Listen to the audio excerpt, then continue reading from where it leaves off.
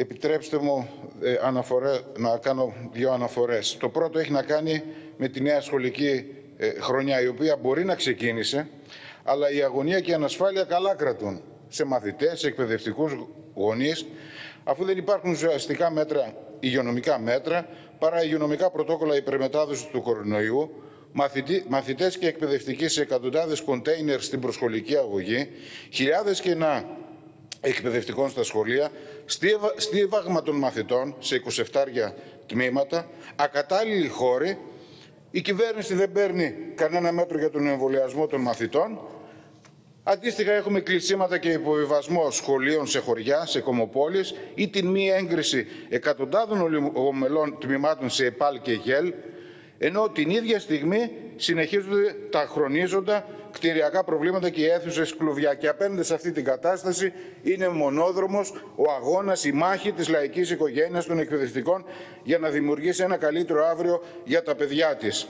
Γιατί την ίδια ώρα που ο λαός μας ταλανίζεται από τις πολιτικές και των προηγούμενων κυβερνήσεων και της σημερινής κυβέρνησης οξύνοντας τα προβλήματά του ε, την ίδια ώρα οι εξαγγελίες του Πρωθυπουργού στην Διεθνή Έκθεση της Θεσσαλονίκης δεν αποτελούν τίποτα άλλο από διαβεβαιώσεις ότι θα συνεχίσει η κυβέρνηση να κάνει τα πάντα για να διασφαλίσει την κερδοφορία των επιχειρηματικών ομίλων. Με νέα προνόμια, διευκολύνσεις, διάφορα πακέτα και πάνω απ' όλα νέο μπαράζ εργατικών και αντιλαϊκών μέτρων που περιλαμβάνονται και στον οδικό χάρτη του Ταμείου Ανάκαμψης για τις πράσινες και ψηφιακές business προσπαθεί να εξαπατήσει το λαό, τους εργαζόμενους, παρουσιάζοντας ότι η καπιταλιστική ανάπτυξη που προϋποθέτει το τσάκισμα των εργατικών λαϊκών δικαιωμάτων είναι μονόδρομος για να ικανοποιηθούν δήθεν οι ανάγκες των εργαζομένων, τάζοντας ορισμένα ψίχουλα που εξανεμίζονται από την έκρηξη της μεγάλης ακρίβειας,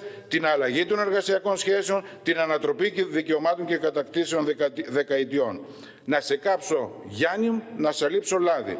Μάλιστα απογειώνεται η πρόκληση με την αναφορά στην νεολαία και τον ισχυρισμό πως αποτελεί προτεραιότητα για τον ίδιο, για την κυβέρνηση, όταν η κυβέρνηση της Νέας Δημοκρατίας παίρνοντας τη σκητάλη από τις προηγούμενες κυβερνήσεις, έχει εξασφαλίσει στη νέα γενιά δεκάωρη δουλειά, δωδεκάωρη δουλειά, απλήρωτη δουλειά, μισθούς των 200 και 300 ευρώ, τζογάρισμα των ασφαλιστικών εισφορών για διασφαλισμένες συντάξεις πείνας, απανοτούς ταξικούς φραγμούς στη μόρφωση, στέλνοντας κατά χιλιάδες ακόμα και 16χρονα παιδιά απευθείας στα νύχια της μεγαλοεργοδοσίας.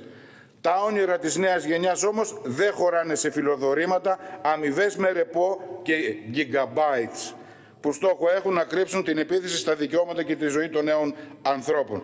Σπέρνετε ανέμους και θα θερήσετε θύελες και να είστε σίγουροι πως η απάντηση των εργαζομένων, της νεολαίας, θα είναι η μαζική δυναμική αγώνες και η πάλι για την ανατροπή των αντεργατικών πολιτικών της κυβέρνησης και του κεφαλαίου. Σε ό,τι αφορά λοιπόν το νομοσχέδιο, όπως τοποθετηθήκαμε και στην Επιτροπή, ε, επί της αρχής εκφράσαμε την αντίθεσή μας και μάλιστα ζητήσαμε από τον Υπουργό, ζητήσαμε την απόσταση του νομοσχεδίου, συντασσόμενοι με την πλειοψηφία των φορέων που διατύπωσαν σοβαρές επιφυλάξεις με το σκεπτικό του ασφαλώς που διατύπωσε ο καθένας. Θεωρούμε πως το νομοσχέδιο δεν υπηρετεί τους συγκεκριμένους σκοπούς, δεν προάγει καν μία ορθολογική διαχείριση του προβλήματος, αντίθετα συνεχίζει την ίδια πολιτική στη λογική της μειωμένης χρηματοδότησης για την ικανοποίηση μιας κοινωνικής ανάγκης κατ' επέκταση των κοινωνικών αναγκών τη στιγμή που δίνεται γη και είδωρ για το κεφάλαιο. Και η αντίθεσή μας στο νομοσχέδιο εδράζεται στους εξής άξονες. Στον πρώτο άξονα που είναι και ο πυρήνας αν θέλετε του νομοσχέδιου με την ανάθεση στους Δήμους ή τη δυνατότητα ανάθεσης σε μη κυβερνητικές οργανώσεις, ιδιώτες, ε, ε, τα ζητήματα της ανταποδοτικότητας, ο εγκλισμός ε, σε κοινοκομεία τι, τι προβλέπει, οι Δήμοι θα εξακολουθούν να έχουν μια αρμοδιότητα που περιγράφεται με συγκεκριμένες υποχρώσεις για περισυλλογή, κτηνιατρική περίθαλψη, στήρωση των αδέσποτων και άλλα, χωρίς επαρκείς υποδομές, προϋποθέσεις, προσωπικό, μέσα κτλ. αλλά και χωρίς κυρίως επαρκή χρηματοδότηση.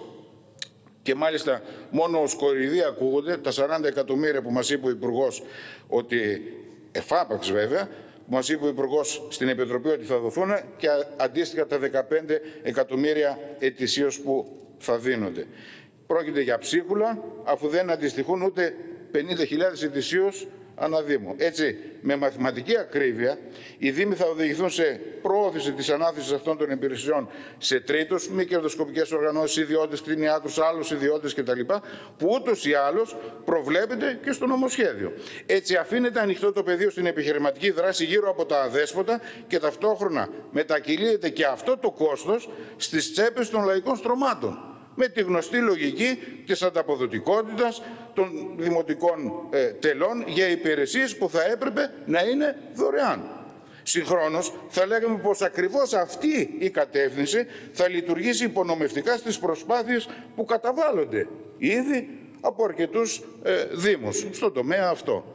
Επαναλαμβάνουμε λοιπόν, τα είπαμε και στην Επιτροπή, πως το Κομμουνιστικό Κόμμα Ελλάδας θεωρεί ε, πως για τη διαχείριση του προβλήματος των αδέσποτων ζώων. Η βάση θα πρέπει να είναι το κρατικό, τα κρατικά, τα δημοτικά κτηνιατρία με υποδομές κλίνικες για αδέσποτα, με εξεταστήριο, χειρουργείο, νοσηλευτήριο, μικροβιολογικό εργαστήριο, με μόνιμους κτηνιάτρους, βάρδιας, με μόνιμους νοσηλευτές, με ζωοκόμους εκπαιδευμένους, με εκπαιδευτές, με αυτοκίνητα περιουσιολογής και άλλα σε επίπεδο Δήμου ή ομάδας όμορων Δήμων. Να εξασφαλίζεται μέσω αυτών των υποδομών ότι θα διεξάγονται αποκλειστικά οι διαδικασίες της περισυλλογής, του ιατρικού ελέγχου και περίθαλψης στήρωσης της καταγραφής σήμανσης και μόλις ολοκληρώνονται αυτές οι διαδικασίες, τα ζώα να απελευθερώνονται στο οικείο περιβάλλοντος εφόσον έχουν ελεγχθεί για την υγεία τους, τη συμπεριφορά τους.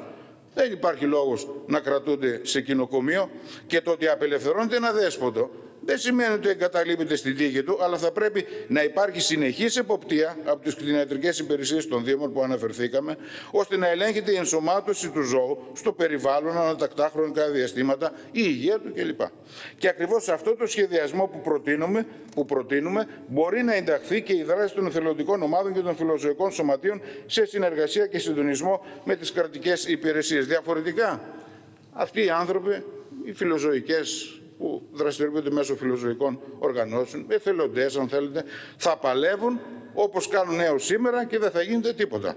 Ακόμα και τα χρήματα τα οποία προβλέπεται ως επιχορήγηση για τα φιλοζωικά σωματεία, άρθρο 43, ουσιαστικά τα αξιοποιείτε όχι για να λύσετε το πρόβλημα και να ενισχύσετε τη δράση τους, αλλά για να τους κάνετε συνένοχους σε μια απαράδεκτη κατάσταση και σε μια πολιτική ανάθεσης κρατικών αρμοδιοτήτων, σε φορείς εθελοντισμού, πολύ περισσότερους σε ιδιώτες.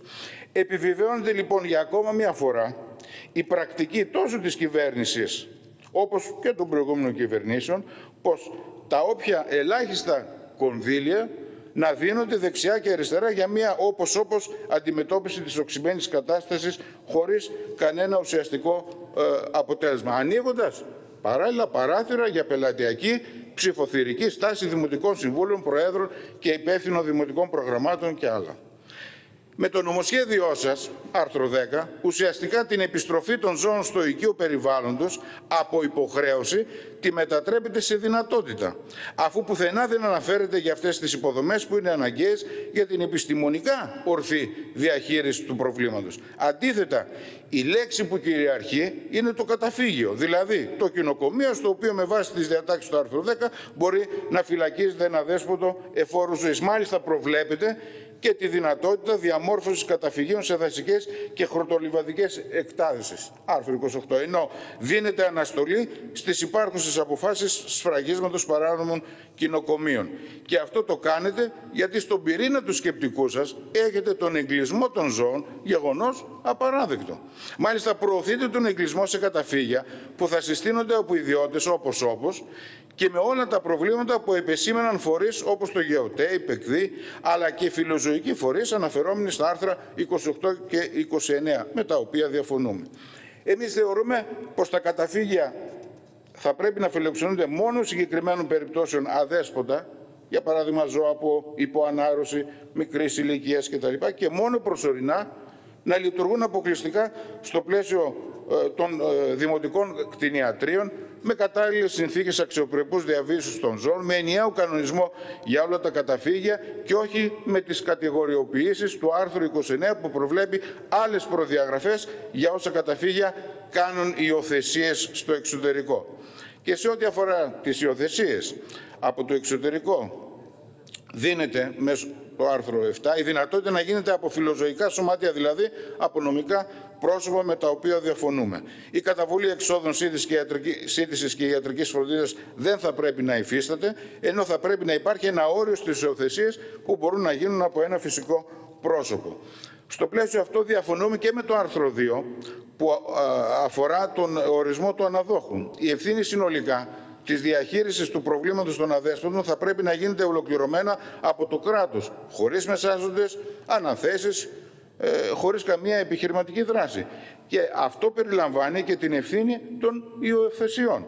Επίσης, σε αντίθεση με τα όσα προβλέπει το άρθρο 3, ξαναλέμε πως η σήμανση και καταγραφή των ζώων συντροφιάς το τσιπάρισμα, θα πρέπει να γίνεται από τις κτηνιατρικές δομές των Δήμων και όχι από τους ιδιώτες κτηνιάτρους, που θα πρέπει να απεμπλακούν από αυτή την ευθύνη. Και επειδή προβλέπετε στο νομοσχέδιό σας ε, δείκτες εφαρμογής και αξιολόγησης των προγραμμάτων, ε, επιτρέψτε μας να σας πούμε ότι οι δείκτες του κράτους σας και οι αξιολογήσεις σας είναι μια σκέτη κοροϊδία και εμπεγμός.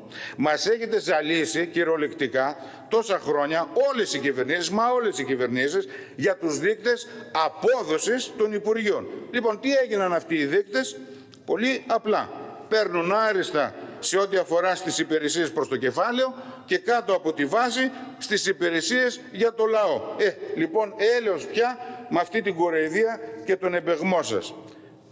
Δεύτερος άξονας της αντίθεσής μας στο νομοσχέδιο. Τι κάνει, ενισχύει την εμπορευματοποίηση των ζώων, ενώ η κατοχή ενός κατοικίδιου μετατρέπεται σε είδος πολυτελείας.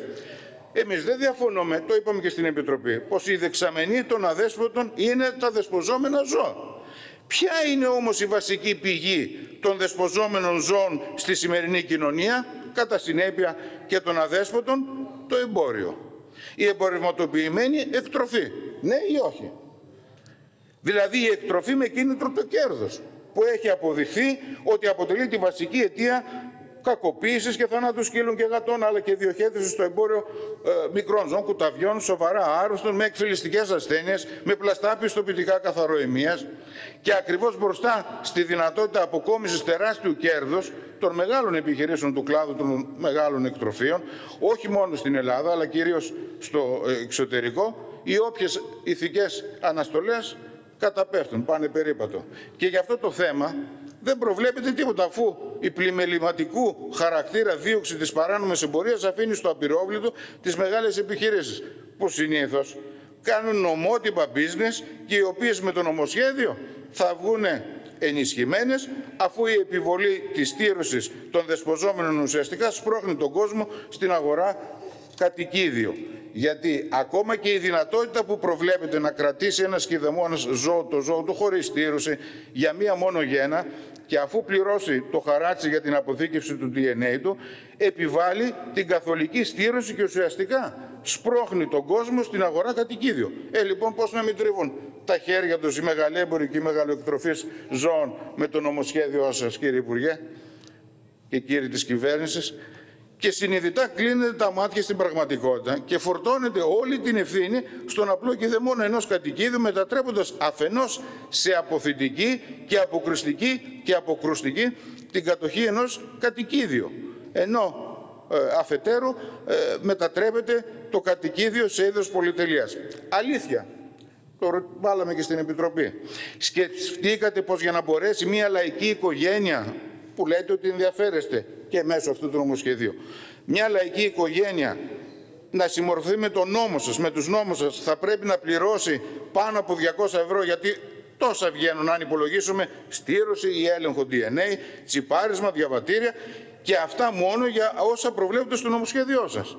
Κατά τη γνώμη μας είναι απαράδεκτο Γι' αυτό και καταψηφίζουμε τα άρθρα 4 και 14 που προβλέπουν τις επιβαρύνσεις, τις δυσβάστατες επιβαρύνσεις για τους κηδεμόνες των ζώων, τη χρέωση τσιπαρίσματος και το χαράτσι των 150 ευρώ για το DNA. Συνεπώς, δεν δεχόμαστε τον μονόδρομο της αγοράς που προωθείται, αλλά ούτε το, τα, το, τα χαράτσα και ούτε τη μία μόνο γένα. Από τη στιγμή που υπάρχει δυνατότητα η εξέταση DNA να δώσει αποτέλεσμα, αν και υπάρχουν, υπάρχουν επιφυλάξεις ε, γι' αυτό από ε, επιστημονικούς φορείς που εκφράστηκαν στην ε, Επιτροπή ε, Φορέων όπως το ΓΕΟΤΕ και την ΙΕΤΡΗ που θα πρέπει να διευκρινιστούν αναφορικά με την αποτελεσματικότητα εντοπισμού δηλαδή των γεννητόρων αδέσποτων ζώων μέσω του DNA. Έτσι λοιπόν και είναι εφικτός μέσω του DNA αν είναι εφικτός ο έλεγχος και ο εντοπισμός του γεννήτωρα, σε περίπτωση δηλαδή αδέσποτων κουταδιών, εμείς συμφωνούμε με τη διαδικασία, αλλά όχι με την τεράστια επιβάρυνση που αυτή συνεπάγεται. Και θα πρέπει, κατά τη γνώμη μας, να μειωθεί στο ελάχιστο. Επίσης, στο άρθρο 9 για επαγγελματικές ομάδες. Σας το είπαμε δύο φορές, τρεις φορές στις ε, επιτροπές που προηγήθηκαν. Για επαγγελματικές ομάδες όπως οι κτηνοτρόφοι. Θα πρέπει η διαδικασία να είναι δωρεάν. Τα σκυλιά τα χρησιμοποιούν στη δουλειά τους οι κτηνοτρόφοι.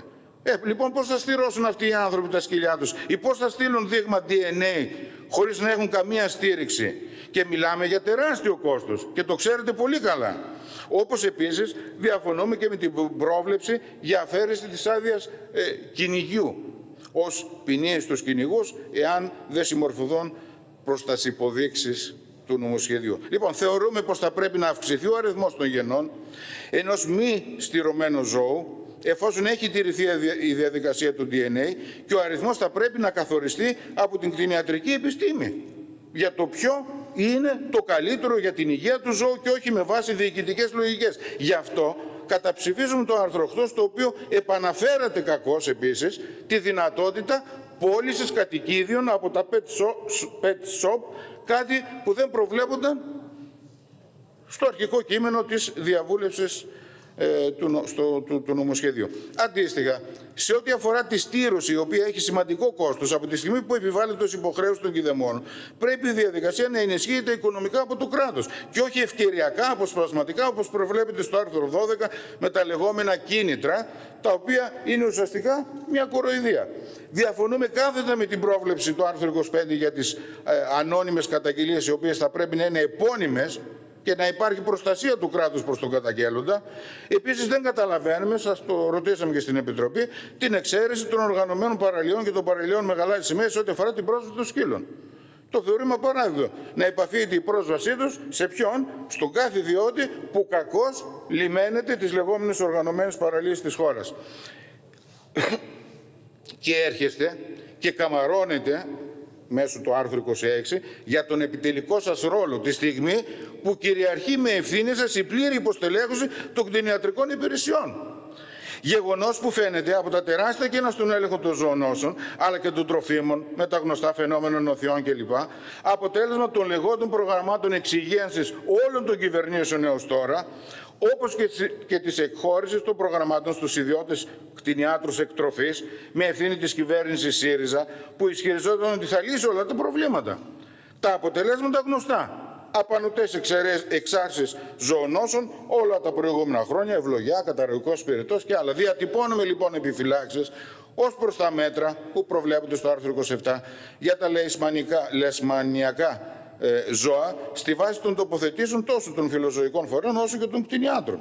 Είμαστε αντίθετοι με τη χρηματοδότηση των καναλιών για την προβολή μηνυμάτων να προβλεφθεί ότι αυτά τα μηνύματα θα προβάλλονται δωρεάν χωρίς καμία επιδότηση καναλαρχών. Όπως και είμαστε αντίθετοι με τα προβλεπόμενα του άρθρου 49, όπου επαναλαμβάνεται από την κυβέρνηση της Νέας Δημοκρατίας το καθεστώς μεταφοράς αρμοδιοτήτων του Δημοτικού Συμβουλίου ε, και αποφάσεις ενός ε, εκτελεστικού οργάνου όπως είναι η Οικονομική ε, Επιτροπή να δεσμεύουν το Δημοτικό αντίστοιχα Περιφερειακό Συμβούλιο που είναι, που είναι και τα πολιτικά αλλά και πλέον αποφασιστικά όργανα. Και αυτό γίνεται με την επίκληση της ανάγκης επιτάχυνσης των διαναϊκών συμβάσεων και πάει λέγοντας. Τέλος, η αναπαραγωγή και διάθεση ζώων συντροφιάς δεν μπορεί να είναι μια εμπορευματοποιημένη διαδικασία. Είναι απαράδεκτο τα ζώα να πουλούνται και να αγοράζονται, να εισάγονται και να εξάγονται, να αποτελούν αντικείμενο κερδοφορίας. Γνωρίζουμε ότι αυτή η πρόταση, την οποία υιοθετεί και συμμερίζεται κάθε ειλικρινά φιλόζωος άνθρωπος, προσκρούει στα ιερά και τα όσια ενός συστήματος που έχει στον πυρήνα του την εκμετάλλευση, που τόσο η κυβέρνηση όπως και όλα τα άλλα κόμματα υπηρετείται με συνέπεια. Γνωρίζουμε την απορριπτική στάση της Ευρωπαϊκής Ένωσης, που όλοι σας πίνετε νερό στο όνομά της, μην το ξεχνάμε, η οποία υποκρίνεται ότι ενδιαφέρεται για τη λεγόμενη ευζοία των ζώων, όπως και τις αιτιάσεις για καθολική απαγόρευση της εμπορίας, αλλά και των εισαγωγών ζώων ε, συντροφιά, συντροφιάς. Πρόκειται όμως για εύλογες διεκδικήσεις που μπορούν να γίνουν πράξη αν φύγει από τη μέση το κέρδος ως κριτήριο της ανθρώπινης παραγωγικής δραστηριότητας. Και με βάση τα ανωτέρω, αλλά και το γεγονός ότι δεν πρόκειται να αποσύρεται προφανώς το νομοσχέδιο, εμείς το καταψηφίζουμε επί της αρχής και φυσικά υπάρχουν άρθρα στα οποία τοποθετούμαστε, δεν διαφωνούμε μάλλον, και άλλα τα οποία ε, πάμε στο παρόν. Ευχαριστώ κυρία Πρόεδρε για την ανοχή.